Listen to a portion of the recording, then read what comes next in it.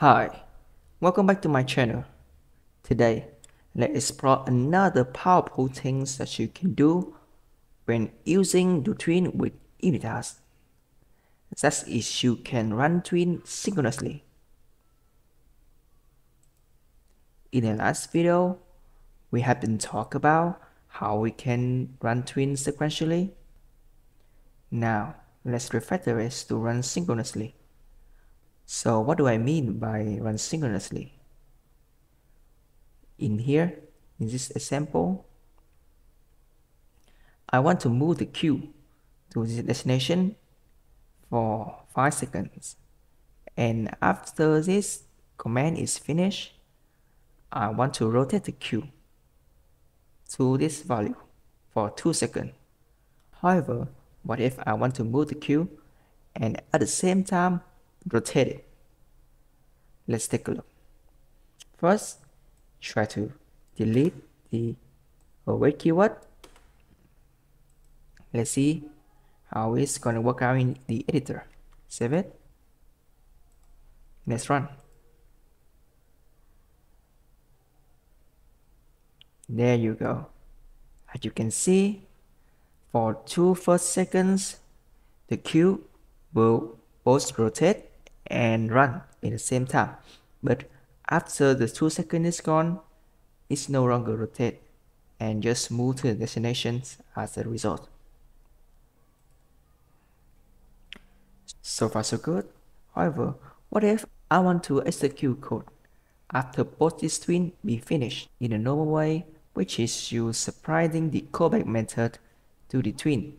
It get really messy because you have to check both of those tweens to see if both of them are finished. However, with a Cineways, in this case, we're using UniTask, it's gonna get much simpler and much cleaner. Let's take a look. First, I will initialize an UniTask.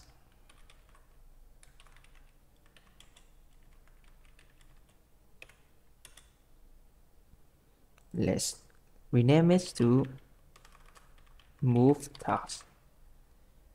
Same as rotating. Rotate task right now I will change this to yield task. remember to use this extension method you need to have the simple imitate DoTween supports label. To understand how to set up this, please watch my video about how we can use DoTween with UniTask. Now we're gonna initialize an imitate array contain both of these tasks. UniTask task equal new UniTask and we're gonna pass move task and rotate task. This is where the magic is coming. We will use a powerful technique and that is called UniTask that's when all. We will first of all assign the UniTask. Let's call it when all equals task UniTask dot when all. There you go. And we gonna pass this stuff.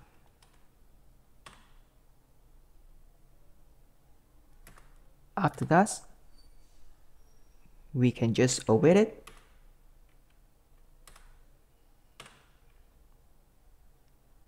So the logic here is we're gonna initialize the move task and rotate task at the tweening process of the DoTween and do move. Then we're gonna initialize an inner task array then pass the arrays to the imitate spread O. Oh. So this is the power of the Accelerate when using with UniTask.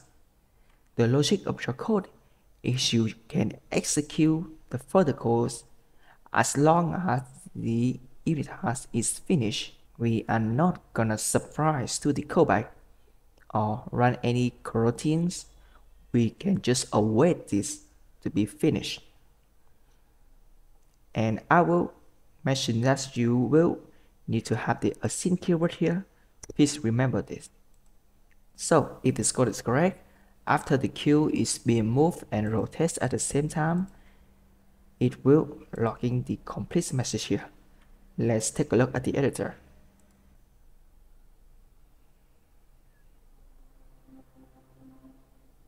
There you go.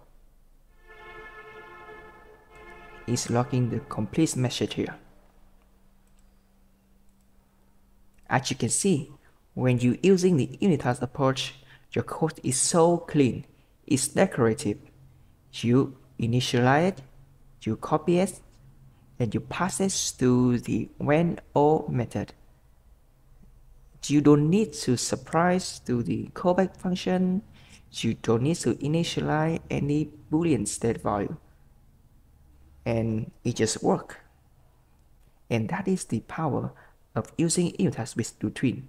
Another cool thing I want to show you guys is nothing gonna stop you from surprising the onComplete method to the tween as normal. You can just dot onComplete and we're gonna log like for example debug dot log. I will call finish rotating. There you go. You can do this and your course will run normally. If the task doesn't restrict you from anything. So in here, after it's finished rotating, it will log its meshes. But after it's finished both the move task and rotate task, it will log the complete here. Let's take a look at the editor.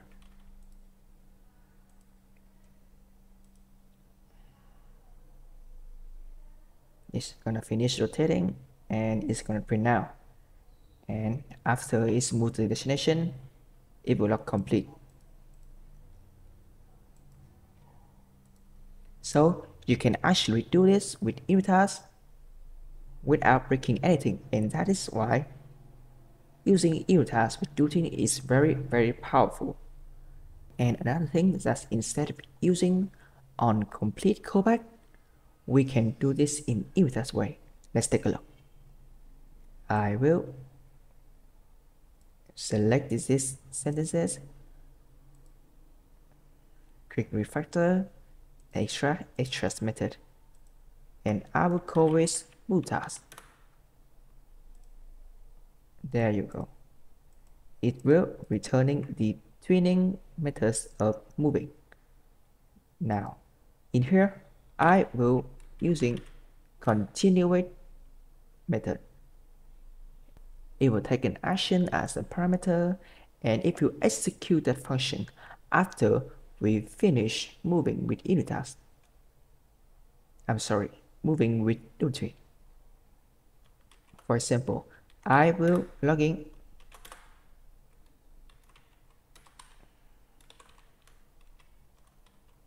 Finish moving. Let's see. okay. So after it's finished moving it will log moving here. And after it's finished rotating it will log rotating here. Let's take a look.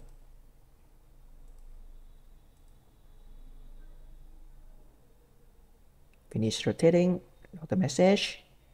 And when it finish moving it will logging the finish moving message and let's not forget it will log the complete message here because we have waited for all those tasks to be finished.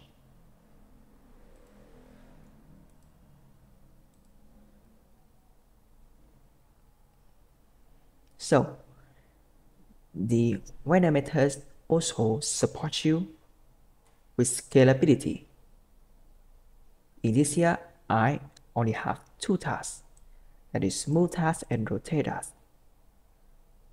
However, what if I want another task? I want the queue to both moving, rotating, and for example, scaling at the same time. Can I do that in a clean way? Of course we can. we will initialize another task. Let's call it scale task. Q dot to scale. Call it new vector 3, 2 by 2 by 2 for like 3 seconds. And we're gonna use the two task method. And right here, we can just fast scale tasks in here. And if you execute those code normally, without changing anything, I don't have to use any boolean variables. I don't have to use any stack at all. It just works. A waste method is so great. Let's see in Unity.